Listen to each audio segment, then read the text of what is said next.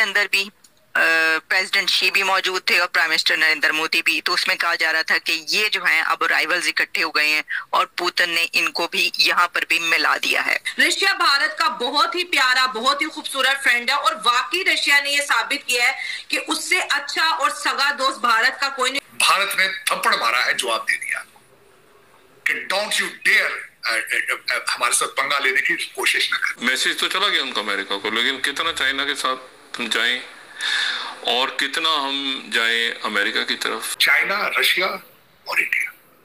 ये इंडिया एक ब्लॉक बनेगा विच इज़ खतरे की घंटी बजाएगा वेस्ट के लिए बज रही है। अमेरिकन जो पावर कॉरिडोर्स हैं वो ज़ाहिर है इस बारे में थोड़ा सा वो कंसर्न होंगे कि मतलब चाइना और रशिया और ब्राज़ील और इंडिया और साउथ अफ्रीका एक ही प्लेटफॉर्म पे आ गए हैं। छह डिप्लोमेट्स को निकाला गया उनको टेररिस्ट उनको क्रिमिनल एक्टिविटीज़ में इन्वॉल्व बताया गया बगैर किसी सॉलिड प्रूफ के ये उसका जवाब आ गया। ये अब हजम नहीं हो रहा। यूरोप अमेरिका कनाडा जापान सब ही क्वाइट हो गए कि तीन बड़ी सुपर पावर्स एक फ्रेम में मुस्कुराती हुई नज़र आ रही है। पन्नू वाला प्रेशर है ना? पन्नू वाला प्रेशर है फिर वो निजर वाला तो इंडिया ने भी एक दिखाई आँख उनको अच्छा ये तो बड़ा अच्छा मौका है। क्या वजह है जो पाकिस्तान का नाम जो है वो ब्रिक्स के मेंबर्स की लिस्ट में नहीं है? या दोबारा से अगर कोई लिस्ट नई बनाई जाती है तो उसमें भी पाकिस्तान का नाम रखने की बात नहीं की जा रही? मोदी साहब ने अंडर गिवन सर्कमस्टांसेस वेस्ट को एक जैप जैप एक थप्पड़ लगाया उन्होंने। ब्रिक्स का होना, मोदी साहब का वहाँ पे खुद जाना।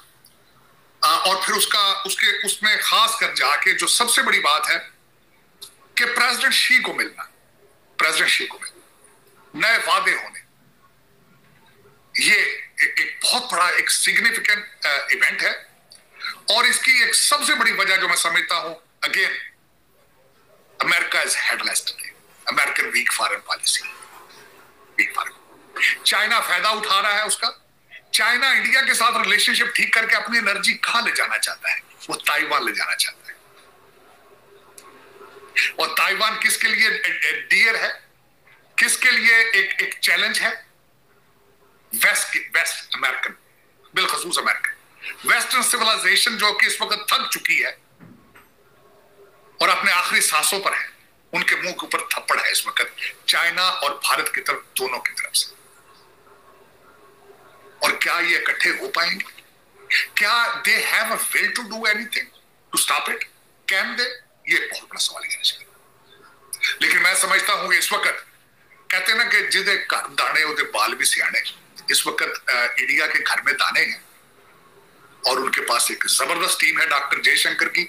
मोदी साहब के पास पावर है वोट ऑफ़ कॉन्फिडेंस है उनके पास and he and world can see it वो दुनिया को दिखा रहे हैं।